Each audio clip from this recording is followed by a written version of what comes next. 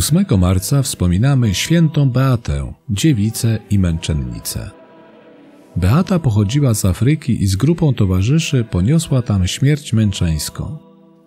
Nie znamy ani dnia, ani roku ich śmierci, gdyż prześladowań było wiele, a nie zachowały się ich akta męczeńskie, podobnie jak wielu pomordowanych za wiarę. Martyrologium rzymskie dzień ich śmierci umieszcza dzisiaj.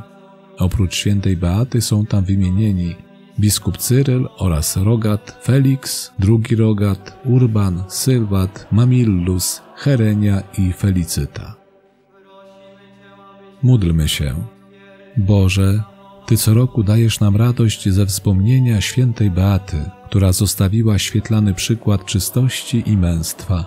Niech jej zasługi wyjednają nam łaskę wierności Chrystusowi, który z Tobą żyje i króluje w jedności Ducha Świętego, Bóg przez wszystkie wieki wieków. Amen.